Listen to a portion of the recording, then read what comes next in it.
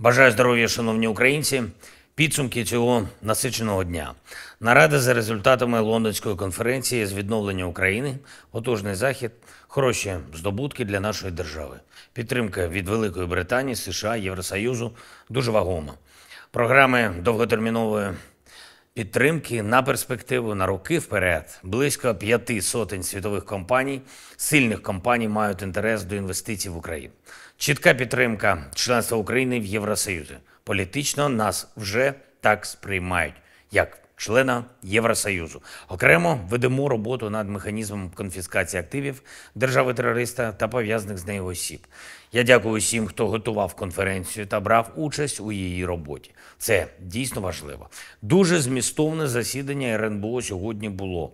Щодо нього я вже окремо звітував. Щойно провів і засідання ставки. Дуже важливий пункт нашого обговорення на ставці теж справедливість. Те, що стосується воєнкомів, зокрема скандалу з діячем в Одесі. Цієї людини точно не має бути в системі комплектування збройних сил.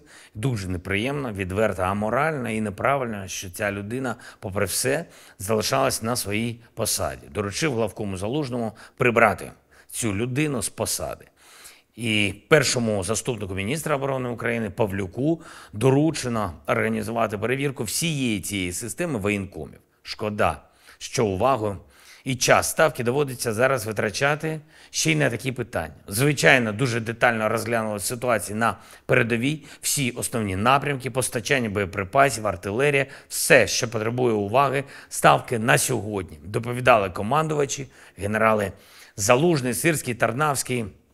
Москальов, віце-адмірал Неїшпапа, генерал Малюк, урядовці, всі. Мав честь привітати із випуском офіцерів наших військових навчальних закладів, одразу шести вишів Харківського національного університету повітряних сил, військового інституту танкових військ Харківської політехніки, військового інституту Київського університету імені Шевченка, військового інституту телекомунікацій та інформатизації імені Героїв Крут, Української військово-медичної академії та кафедри військової підготовки Національного університету біоресурсів і природокористування України.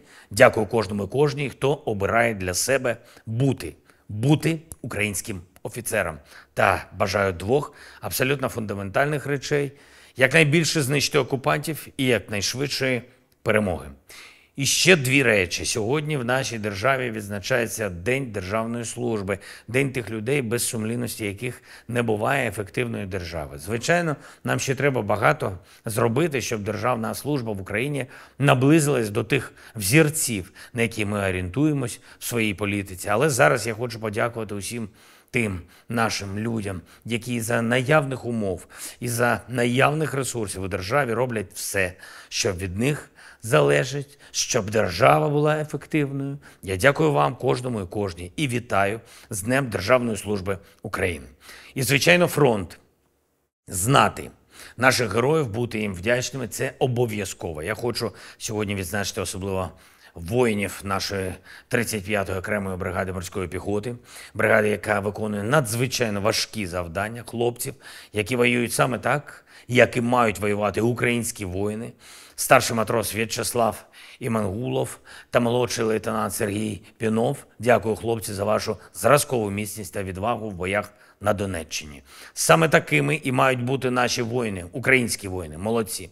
І прошу кожного і кожну, будь ласка, вшануйте пам'ять двох наших десантників 35-ки, особливо хоробрих, особливо сильних. Вони віддали життя за нашу державу, за наших людей. Саме зараз, в боях у червні, і Україна має їх пам'ятати. Капітан Іван Коцур, вічна пам'ять, старший лейтенант Олександр Казанжі, вічна пам'ять. Хай перемога України в цій війні і успішна трансформація наших державних інституцій в такі ж сильні та ефективні, якими є наші воїни. Хай це буде найкращим вшануванням пам'яті усіх наших героїв різних часів, які боролися і загинули заради свободи та сили України. Слава Україні!